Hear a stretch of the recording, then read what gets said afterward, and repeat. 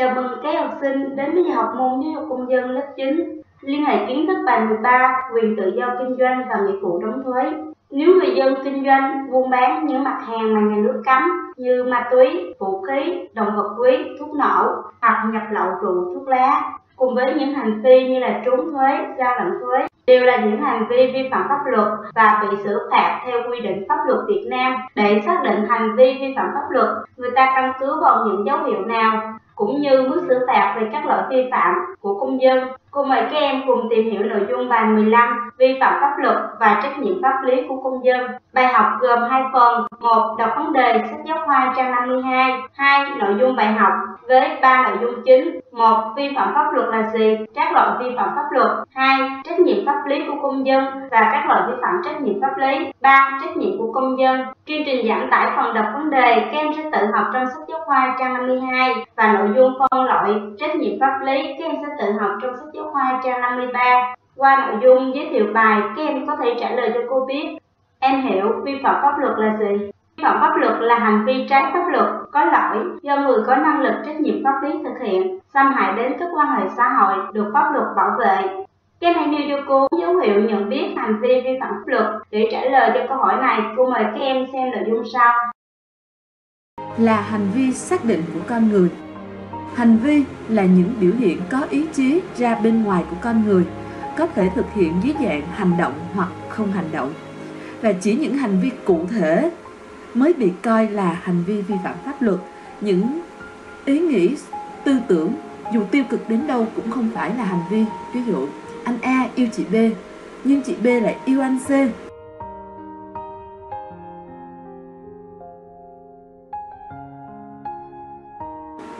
A nghĩ rằng sẽ cho anh C một trận như vậy suy nghĩ của anh A không phải là hành vi mà chỉ khi nào anh A thực hiện hành động đấm đá đối với anh C thì mới có vi phạm.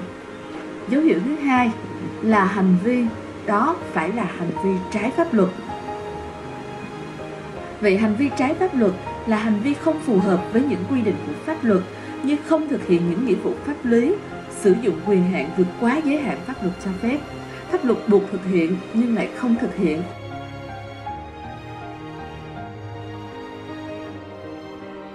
Chẳng hạn như pháp luật quy định công dân ngồi trên xe máy phải đội mũ bảo hiểm. Nhưng người tham gia giao thông này lại không đội.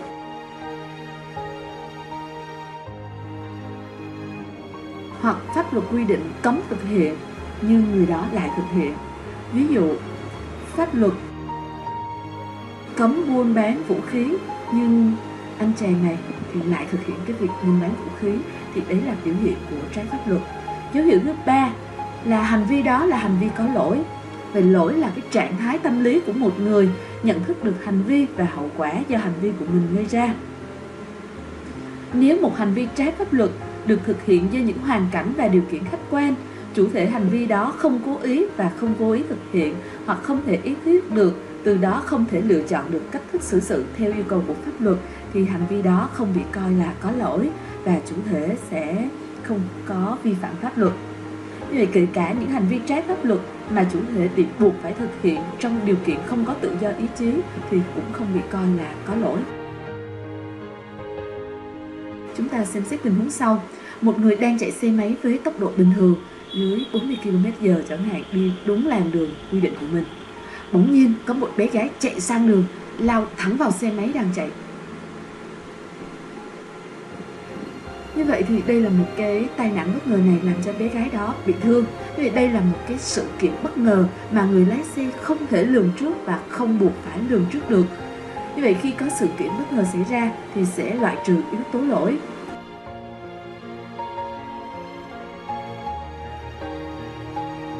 Và khi không có yếu tố lỗi thì sẽ không có vi phạm pháp luật.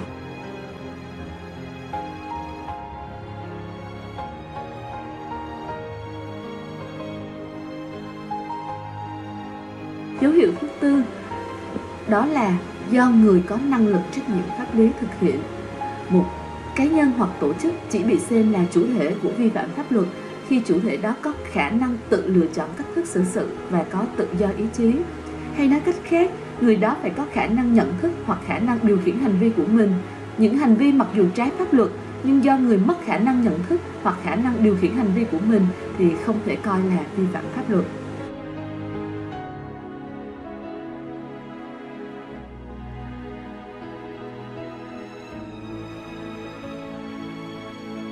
Chẳng hạn như một anh chàng rất là thèm khoai lang nướng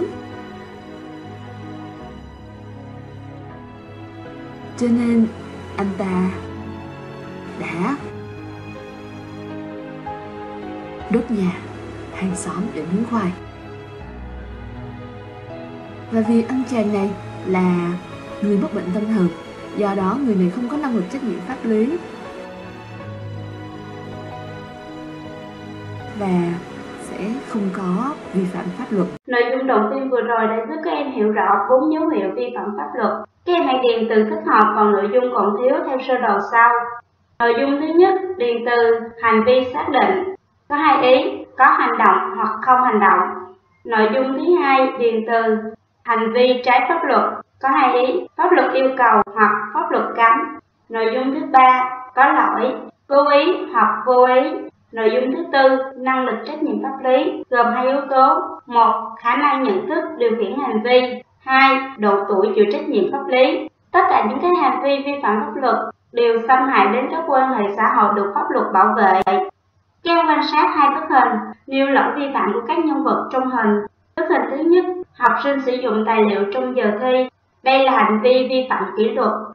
Vậy vi phạm kỷ luật là gì? Vi phạm kỷ luật là vi phạm quy định, nội quy của các cơ quan đơn vị. Cô lấy một số ví dụ như là học sinh đi học trễ, một số cán bộ, công chức, viên chức nhà nước hút thuốc trong khi làm việc tại cơ quan. Bức hình thứ hai, một số người dân buôn bán lấn chiếm vỉa hè, lòng lề đường. Đây là hành vi vi phạm pháp luật hành chính. Vậy vi phạm pháp luật hành chính là gì? Đó là vi phạm quy tắc quản lý hành chính nhà nước. Cô lấy một số ví dụ như là vượt đèn đỏ, đi xe ngược chiều, không đội nón bảo hiểm khi tham gia giao thông, hoặc một số người dân xây nhà mà không xin giấy phép. Các quan sát nội dung ba bức hình nêu lỗi vi phạm của các nhân vật trong hình. Bức hình thứ nhất đó là vấn đề cho vay nặng lãi. Bức hình thứ hai, hai công ty tranh chấp về quyền tác giả. Bức hình thứ ba, các thành viên trong gia đình tranh chấp về quyền thừa kế tài sản. Đây là những hành vi vi phạm pháp luật dân sự. Vậy vi phạm pháp luật dân sự là gì? Là những hành vi xâm hại các quan hệ về tài sản và quan hệ pháp luật dân sự khác. Quan sát nội dung ba bức hình kép nêu lỗi vi phạm của các nhân vật trong hình. Bức hình thứ nhất, trộm cướp tài sản của người khác. Bức hình thứ hai, hành vi đánh đập, chửi mắng, bạo hành trẻ em. Bức hình thứ ba là giết người. Đây là những hành vi vi phạm pháp luật hình sự hay còn gọi là tội phạm. Và đây cũng là những hành vi gây nguy hiểm cho xã hội.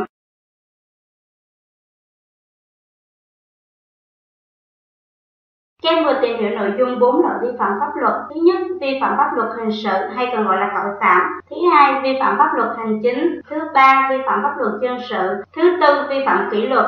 Căn cứ vào mức độ vi phạm sẽ xem xét và phân loại hành vi đó thuộc loại vi phạm pháp luật nào để đảm bảo được sự công bằng trong xã hội. Cô giới thiệu với các em điều 12 Bộ luật hình sự năm 2015 trong năm 2017. Điều 12. Người từ đủ 16 tuổi trở lên phải chịu trách nhiệm hình sự về mọi tội phạm. Người từ đủ 14 tuổi trở lên nhưng chưa đủ 16 tuổi phải chịu trách nhiệm về tội phạm rất nghiêm trọng do cố ý hoặc tội phạm đặc biệt nghiêm trọng. Điều 21. Người thực hiện hành vi nguy hiểm cho xã hội trong khi mắc bệnh tâm thần hoặc một bệnh khác mà mất khả năng nhận thức hoặc khả năng điều khiển hành vi của mình thì không phải chịu trách nhiệm hình sự. Đối với người này phải áp dụng biện pháp bắt buộc chữa bệnh. Liên, liên hệ kiến thức điều 12 Bộ luật hình sự, các em xử lý cho cô tình huống sau. Do muốn có tiền tiêu xài, Nam, học sinh lớp 9, 14 tuổi, đã nhận lời chuyển một gói hàng lớn để lấy tiền. Trên đường đi đưa hàng, Nam đã bị các chú công an kiểm tra và phát hiện trong gói hàng có ma túy. Các chú công an đã giữ Nam lại. Theo em, trong các ý kiến sau đây, ý kiến nào là đúng, vì sao? A. Nam phải chịu trách nhiệm hình sự vì vận chuyển ma túy là phạm tội. B. Nam không phải chịu trách nhiệm hình sự vì ít tuổi. C. Nam phải chịu trách nhiệm hình sự vì bị lừa khi nhận chuyển gói hàng, không biết có ma túy ở trong. Đáp án, câu A. Nam sẽ phải chịu trách nhiệm hình sự vì vận chuyển ma túy. Hành vi của Nam là vì tiền, nên Nam thực hiện cố ý. Nam nhận thức được hành vi của mình là nguy hiểm cho xã hội và thấy trước được hậu quả. Cô giả sử như Nam không biết trong gói hàng có ma túy, nhưng Nam vẫn ý thức được hành vi của mình và và để mặc cho hậu quả xảy ra nên không thể đổ lỗi. Nam không biết, không có tội. Tôi giới thiệu với các em điều 5 xử phạt vi phạm pháp luật hành chính Người từ đủ 14 tuổi trở lên nhưng chưa đủ 16 tuổi bị xử phạt hành chính về vi phạm pháp luật hành vi do cố ý. Người từ đủ 16 tuổi trở lên bị xử phạt vi phạm hành chính về mọi vi phạm hành chính. Tổ chức bị xử phạt vi phạm hành chính về mọi vi phạm hành chính do mình gây ra. Dụng điều 5 xử phạt vi phạm pháp luật hành chính. Tú 14 tuổi, học sinh lớp 9, do ngủ dậy muộn nên mượn xe máy của bố để đi học. Qua ngã tư gặp đèn đỏ, vì sợ trễ giờ nên Tú không dừng lại, phóng nhanh vượt qua và chẳng may va vào ông ba, người đang đi đúng người đang đi đúng phần đường của mình, làm cả hai cùng ngã và ông ba bị thương nặng. Câu hỏi cô dành cho các em, hãy nhận xét hành vi của Tú. Câu hỏi B, nêu các vi phạm pháp luật mà Tú đã mắc và trách nhiệm của Tú trong sự việc này. Đáp án câu hỏi A, hành vi của Tú là hành vi vi phạm pháp luật. Đáp án cho câu hỏi B, Tú đã mắc các lỗi. Thứ nhất, lái xe máy khi chưa đủ tuổi quy định. Thứ hai, vượt đèn đỏ, phóng nhanh, gây tai nạn. Tú có trách nhiệm, thứ nhất, gọi xe cứu thương để đưa ông ba đến khám ở bệnh viện. Thứ hai, bị xử phạt hành chính theo quy định của pháp luật. Thứ ba, gia đình Tú phải có trách nhiệm chăm sóc bồi thường thiệt hại cho ông ba.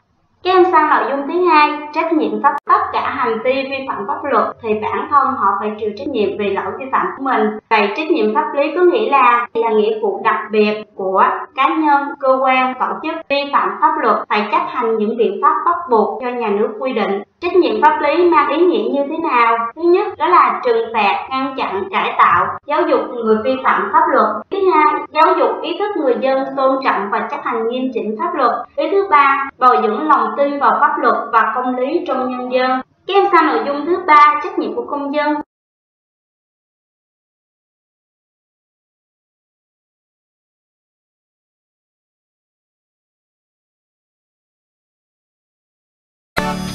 Cực hưởng ứng Ngày Pháp luật nước Cộng hòa xã hội chủ nghĩa Việt Nam 9 tháng 11. Sống và làm việc theo hiến pháp và pháp luật. Tích cực hưởng ứng Ngày Pháp luật nước Cộng hòa xã hội chủ nghĩa Việt Nam. Tuân theo hiến pháp, pháp luật là nghĩa vụ của mọi cơ quan, tổ chức, cá nhân. Chấp hành hiến pháp, pháp luật là nét đẹp văn hóa, là việc làm thiết thực của mỗi người dân. Cán bộ, công chức, viên chức gương mẫu chấp hành và bảo vệ hiến pháp và pháp luật. Toàn dân tích cực tìm hiểu, học tập và thực hiện hiến pháp và pháp luật tìm hiểu, học tập và chấp hành pháp luật là quyền lợi và nghĩa vụ của mỗi công dân. Liên hệ thực tế bản thân học sinh, các em là học sinh lớp 9, 14 tuổi, đủ tuổi chịu trách nhiệm pháp lý về hành vi vi phạm pháp luật của mình. Vậy các em cần phải làm gì? thực hiện tốt nội quy nhà trường, sống lành mạnh, không xa vào các tệ nạn xã hội, làm chủ được hành vi của chính mình, không để kẻ xấu lợi dụng, làm điều trái pháp luật kem ghi nội dung thứ ba, trách nhiệm công dân. Ý thứ nhất, mọi công dân chấp hành nghiêm chỉnh hiến pháp và pháp luật. Ý thứ hai, tích cực đấu tranh với các hành vi, việc làm vi phạm hiến pháp và pháp luật. Củng cố bài học hôm nay, cô mời các em cùng làm bài tập số 1. Củng cố bài học hôm nay, cô mời các em cùng làm bài tập số 1. Xác định loại vi phạm pháp luật của các hành vi sau. Có 4 loại vi phạm pháp luật, hành chính, hình sự, dân sự, kỷ luật. Vậy thì hành vi A, thực hiện không đúng các quy định trong hợp đồng thuê nhà, đó là loại vi phạm pháp luật dân sự. B. Giao hàng không đúng chủ tội mẫu mã trong hợp đồng mua bán hàng hóa, đó là vi phạm pháp luật dân sự. C. Đánh đập hành hạ người làm thuê, vi phạm pháp luật hình sự. D. Xây nhà cao tầng không xin giấy phép, đây là luật hành chính. D. Chặt cây, tỉa cành mà không đặt biển báo nguy hiểm, vi phạm kỷ luật. E. Học sinh đi học trễ, tác phong không nghiêm túc, vi phạm kỷ luật G. Đi xe máy 70 phân khối, không có giấy phép lái xe, vi phạm hành chính. Các em làm bài tập trắc nghiệm sau. Câu 1. Trong các hành vi sau, hành vi nào vi phạm pháp luật? A. Nam rất ghét Minh, cố ý Nam rất ghét Minh, có ý định đánh cho Minh một trận thật đau cho bỏ ghét. B. Một người uống rượu say, đi xe máy không làm chủ được tay lái và gây tai nạn. C. Một em bé lên 5 tuổi, nghịch lửa làm cháy một căn bếp nhà hàng xóm. D. Bệnh nhân tâm thần lên cơn đập phá nhiều tài sản quý của bệnh viện. Đáp án đó là câu B. Hành vi vi phạm pháp luật đó là uống rượu say, đi xe máy, không làm chủ được tay lái và gây ra tai nạn. Cô giải thích thêm đối với ở hành vi A, có nghĩa là ở đây Nam chưa thực hiện hành động của mình nên không vi phạm pháp luật. Ở câu C, em bé lên 5 tuổi hay là em vô ý và em chưa đủ tuổi chịu trách nhiệm pháp lý nên không vi phạm pháp luật. D. Bệnh nhân tâm thần không nhận thức điều khiển được hành vi của mình nên họ không vi phạm pháp luật. Bài tập trắc nghiệm thứ hai, đưa ảnh cá nhân của người khác lên mạng để quảng cáo mà chưa có sự cho phép của người đó. Theo em, vi phạm pháp luật loại nào sau đây? A. Vi phạm pháp luật hình sự B. Vi phạm pháp luật hành chính C. Vi phạm pháp luật dân sự, D. Vi phạm kỷ luật Đáp án đó chính là câu C. Vi phạm pháp luật dân sự